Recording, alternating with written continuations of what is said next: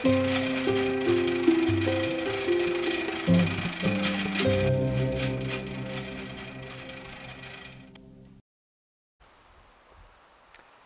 Kaikile. Uh, greetings everyone. Uh, we are very happy to participate with you, at least uh, digitally. I wish you very, very best for a very important conference that you're having there. Uh, I've been asked to give some kind of introduction to what we think nonviolence is and how it uh, fits into the solution of global problems. Uh, there's a story going around that you probably have heard. I think it's probably uh, an apocryphal story, probably didn't happen, but that doesn't matter. About a Native American grandfather who says to his grandson, Son, I feel that I have two wolves inside of me. One of them is a very tame beast, and the other is really a savage animal, and they're fighting it out inside me. And the grandson says, For heaven's sake, grandfather, which one of them is going to win? And the grandfather says, the one that I feed.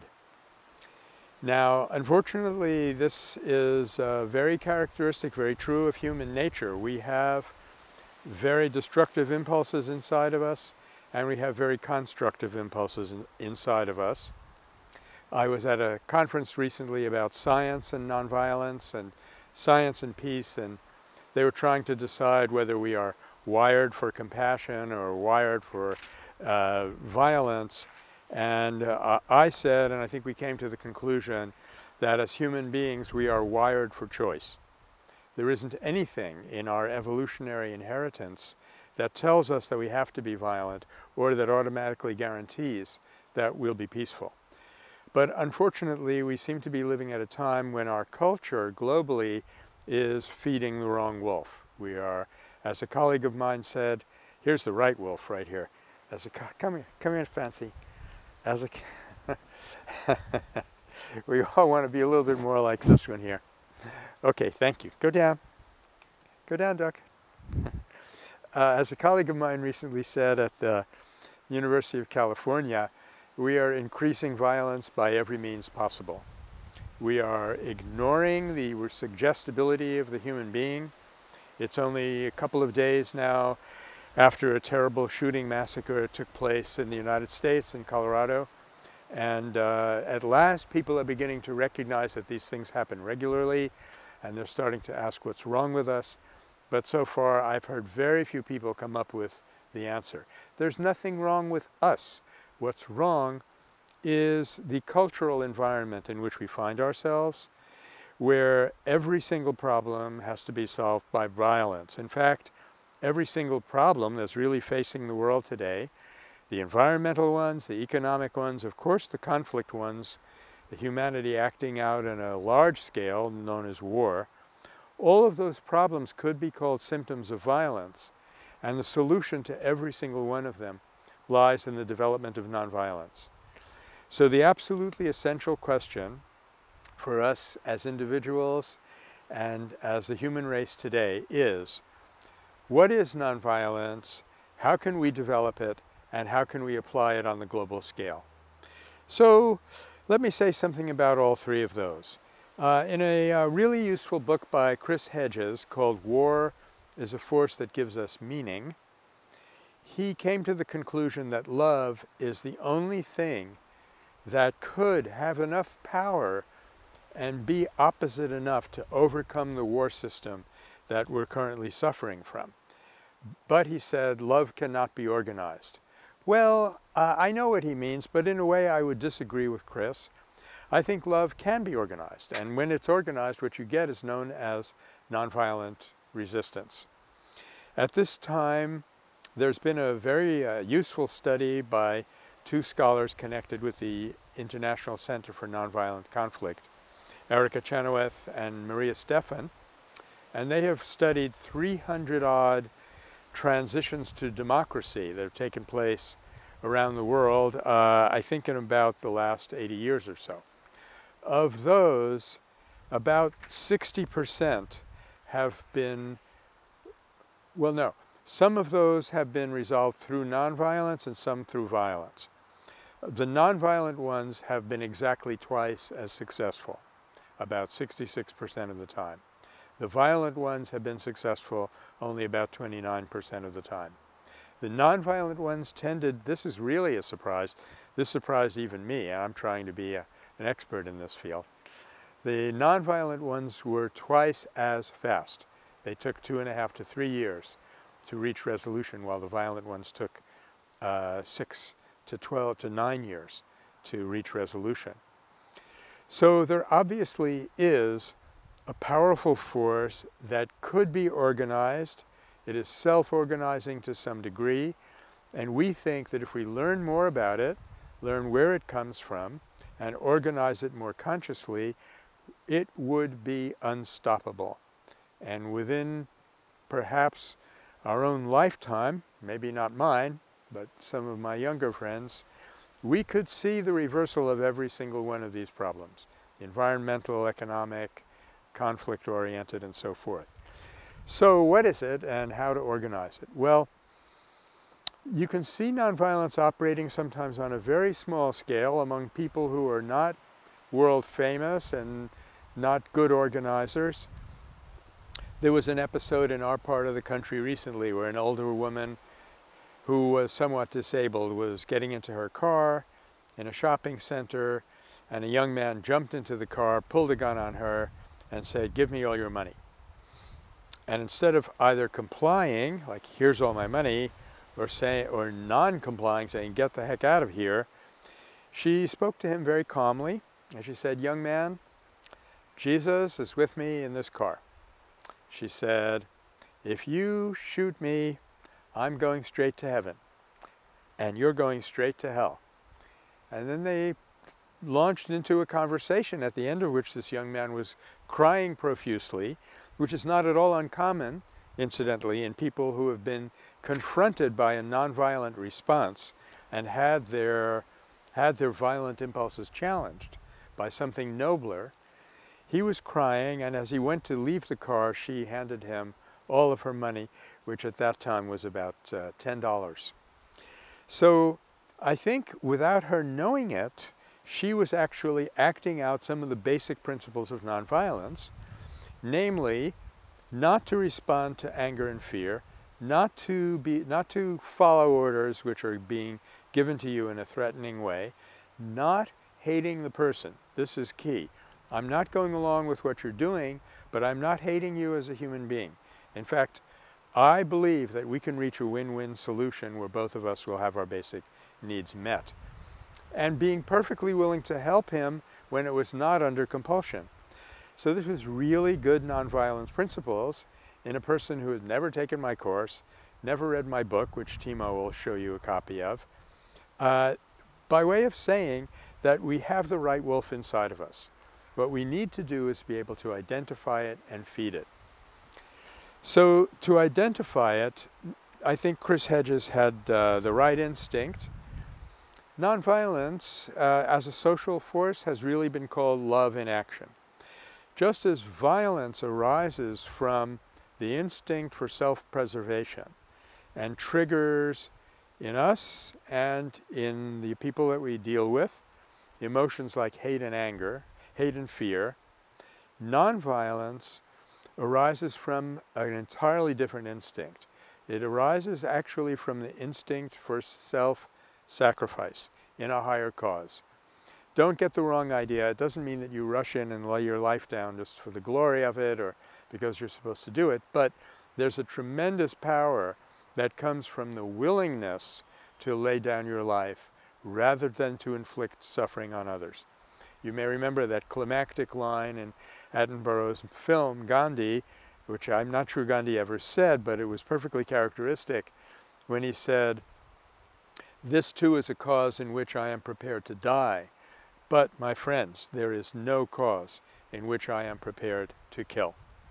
This reversal brings about a tremendous conversion of negative energies that are inside the person. Uh, both Gandhi and King bore witness to this on a large scale. Gandhi said, I have learned the one supreme lesson to conserve my anger. And just as steam, when conserved, can be a force to drive an engine, anger conserved can be a force to change the world. I think what was going on in Gandhi's vision was two things. The recognition that as human beings, we don't just live on the surface of life. We're not just physical machines. We're not just intellectual calculators. Consciousness is very deep. To use a traditional model, we have body, mind, and spirit. Spirit is something we can hardly even reach under normal circumstances, but it has tremendous power. Under extraordinary circumstances, people have done incredible things to mobilize this power, which has a, a tremendously converting effect on those confronting them. Uh, in my book, I mentioned one example that took place during the civil rights movement in Birmingham, Alabama, which is a remarkable example because it happened to ordinary people and it happened to them en masse. It was a group demonstration. They were marching down to courthouse. Suddenly they were blocked by police and firemen. There was a very, very, um, very committed segregationist police commissioner an infamous character by the name of Bull Connor. And uh, the marchers didn't know what to do. They, they just knelt down on the sidewalk to pray.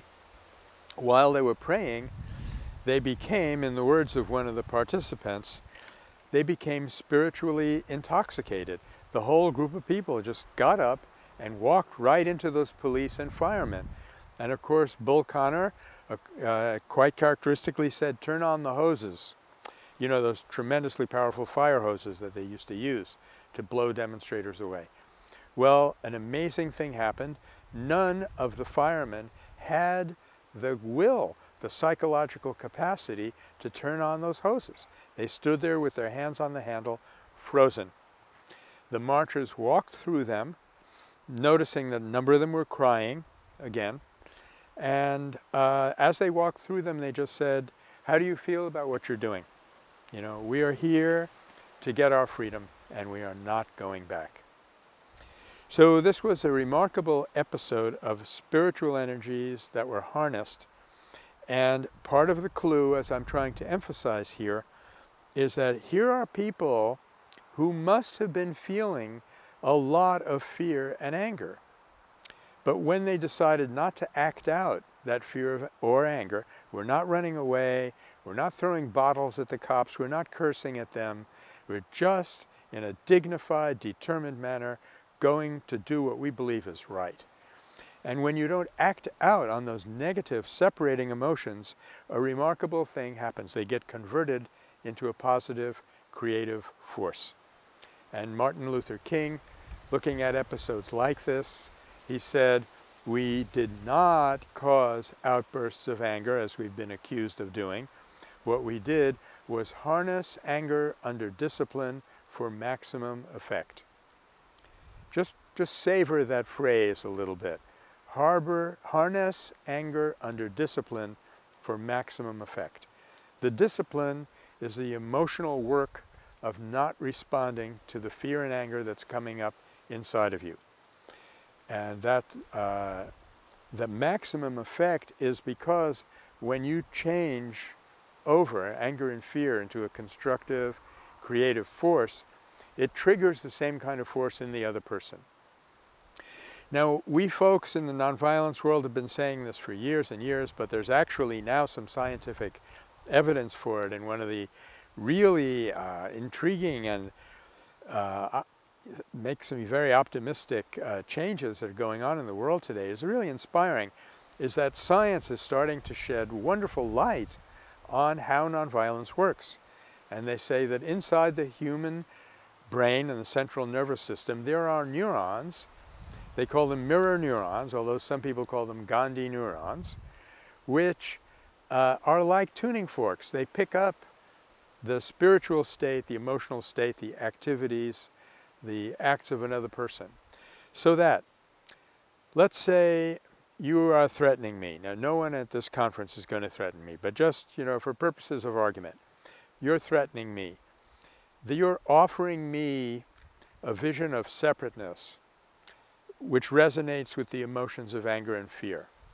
And what I'm doing is, I'm saying no thank you to those emotions and offering instead to you in return a world of unity, a world that stems from a deeper vision of human interconnectedness, to which you cannot but respond. That's the point. Now, you may not respond immediately the way I want you to. You may even carry out your act of your threat of violence, but you have been moved. So, if we ask ourselves what is nonviolence, it's a force that's released into the human environment by the conversion of a negative separating drive, like fear or anger. Okay, well and good. Well, now, how do we use it? Um, first of all, we can follow certain practices that enable us to do that conversion more automatically. As I've mentioned before, we live in a, in a culture which is not going to encourage us to carry out these conversions. Once when I was talking about my book on the radio, some guy got on and said, if someone cuts me off and I don't pull a, my nine millimeter out of my glove compartment and shoot him, what kind of a man am I? Well, I would say you're a real man if you don't do that. But in other words, we are being exposed to between three and 5,000 commercial messages every day. Every one of those messages is saying you are a separate material object in competition with others for scarce resources. And uh, it's all a humongous lie. And in order to protect ourselves from this really damaging wrong image of who we are, what the world is, what we've recommended is that people try to avoid exposing themselves to the mass media on the one hand, and on the other hand, to learn everything you can about nonviolence. It's a big field. We have a huge library in here in the Metta Center. It's not just a question of being a nice guy, withholding your impulse to strike somebody. It's a science which Gandhi practiced for almost 50 years. Uh, he worked it out in great detail and he left behind 98 volumes of his collected works. Of course, we have a lot of information also for you on our website, mettacenter.org.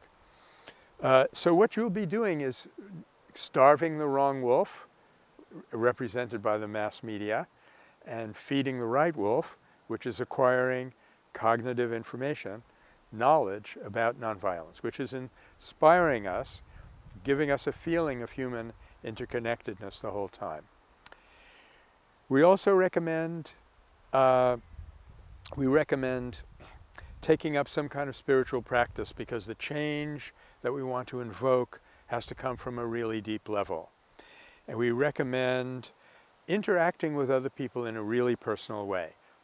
Uh, every time you have a chance, go and talk to somebody instead of calling them on the phone call them on the phone instead of emailing them, and so on and so forth. To feel ourselves one with our human beings is tremendously helpful. Uh, many experiments have shown that families that have stopped watching television, an interesting thing happens. They start quarreling a lot. Why? Because all of this problem that they had with one another has been suppressed for a long time. So when they stop watching television, they're suddenly facing each other. So they start fighting. But after that, they work it out and they're reconnected at a much deeper level than they were before when all of that conflict was just suppressed by the triviality of the mass media. So uh, if you have a spiritual practice, if you're not exposing yourself to the mass media too much, and if you're learning about nonviolence, you will be in a really strong position to go out and interact with other people in a way which will be fulfilling and rewarding for yourself and very helpful for them. And you'll be setting the stage for a nonviolent world. But that world is still not going to happen all by itself. So the next thing that we recommend is that look around at the problems and the projects that have been engaged to resolve them. Look within and ask yourself, what are my strengths and what are my weaknesses? And get engaged if you have not already done so with a project that could be helpful in solving some of the problems in our world. We are uh, going to offer to you a project that we call Roadmap, which will then, uh, I think, give us some guidelines on how to take this person power that we're developing, use it in constructive action, and then go on to nonviolent resistance when we have to. So uh, I hope you find these remarks of interest. We are very uh, jealous that you're all there together, uh, and we, uh, we feel very much with you in solidarity. We look forward very much to hearing the results of your conference. Thank you.